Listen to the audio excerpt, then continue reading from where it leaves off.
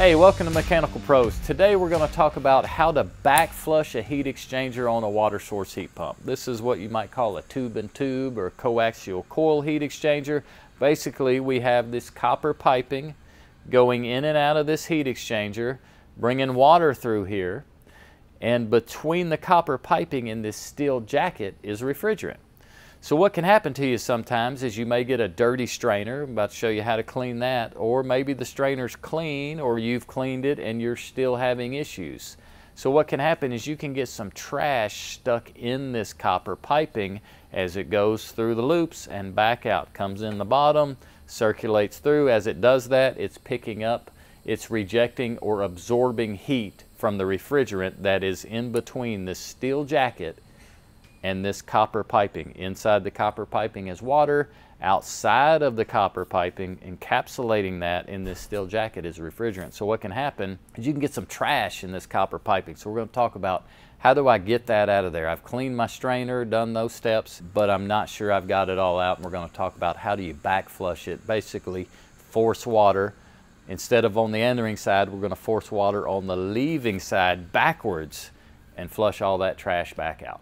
Okay, so what we have here is a typical water source heat pump. This happens to be a Daikin water source heat pump, a two ton. Had a little bit of shipping damage when it came in, so we're using it as a cutaway for these demonstrations. So in any water source heat pump, you're gonna have an inlet water and an outlet water. The configuration may change per brands, but for us, our inlet water is coming in on the bottom of the unit, circulating through this coil and coming out on the top here. So on the inlet side, we have a strainer device, a little basket strainer inside this, this Y here. Um, this is a nice little hose setup that also has a blow down where you could take the top off and while you have the pressure you could open that and flush any trash out that might be in that strainer, right? So then the water goes in through here and assuming we have a nice clean strainer, runs through our little heat exchanger again, as you can see, copper pipe, that's our water coming in, and outside of that we have this steel jacket. So we'll have refrigerant encapsulated around this copper water pipe rejecting or absorbing that heat depending on what mode of operation we're in. So we go through, we come out, and then on the leaving side, very important, this is what's called a circuit setter.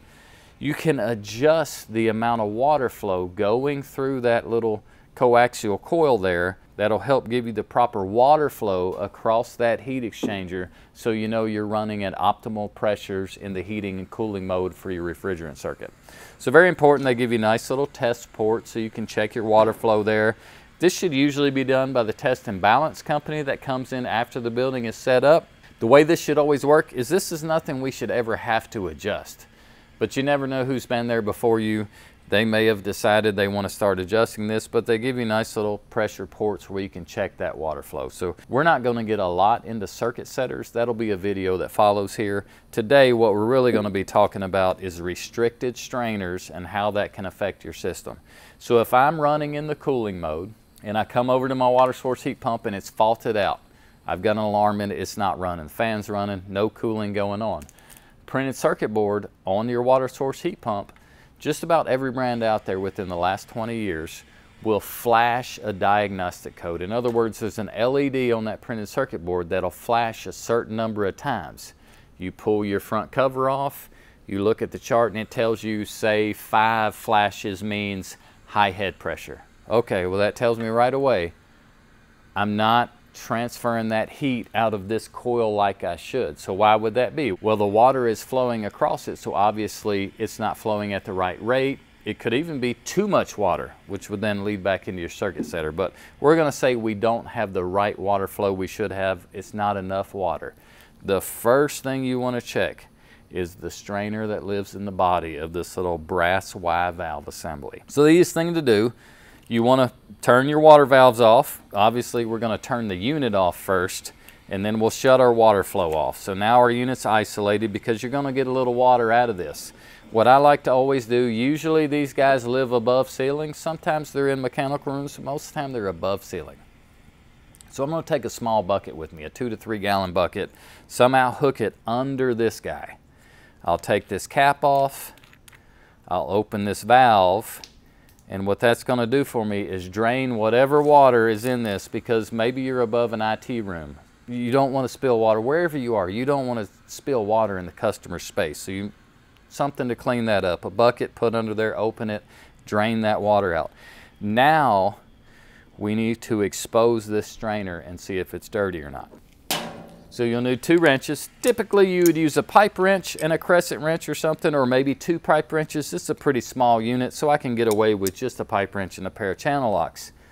The key to it, and I learned this coming up a long time ago, is uh, as crazy as it sounds, if you have them spread way apart and you're over here like this, even though it feels like you're putting so much force on that, it won't budge. If you just put your wrenches together, it only takes one hand to spin that.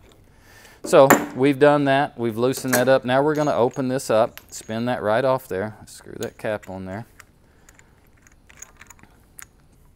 First thing we need to do is we've cleaned our strainer. Let's set him to the side.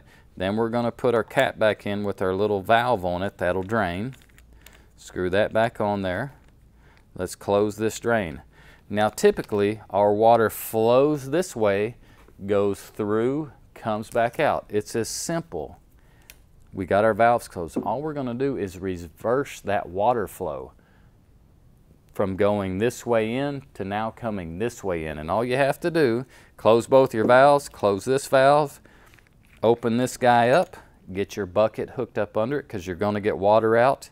Turn this on, let all that drain out, and you'll get maybe half a gallon, if that, of water that'll drain down into your bucket. Now, turn the leaving side of the water on and because this is valved off, the pressure difference won't be restricting this flow. It'll let this water flow backwards through here and that will flush out all the trash that is in this little coaxial tube heat exchanger back into your bucket and you'll be amazed how much trash comes out of that. Once you get that done, tighten everything back up, put our strainer back in our Y, check all your water connections, hook everything back up, open your valve, start your unit, and more than likely, it's going to run just like it should now. You'll have cleared that obstruction. In the summertime, you are getting faults for high head pressure, or in the heating mode, if you see low evap pressure or low evap temperature, it could be this, because in the heating mode, this is going to get cold. And if this is restricted, it lets this get too cold. And it has sensors that'll generate faults and shut the equipment off to protect it. So that's the basics on how to check a Y strainer, make sure it's clean, then also how to back flush this coil. Good practice, go ahead and clean the strainer and if you've got the time and you've got something to catch the water in, go ahead and back flush this thing. It only takes a couple minutes and then you can walk away feeling confident that the unit is clean, that fault code isn't going to come back. If we just clean the strainer and we don't do that, we don't know for sure. We're taking a gamble that that customer is going to be happy but if you come in there and do the work, next day they get the same fault code, not good. Thanks for watching everyone. If you have any questions about what we talked about today, be sure to shoot us a comment and we'll make sure we get right back to you. And again, next video we're going to talk about how to chemically clean this in case it's scaled and we just can't back flush it. So be sure to watch for that and we'll see you next time on Mechanical Pros.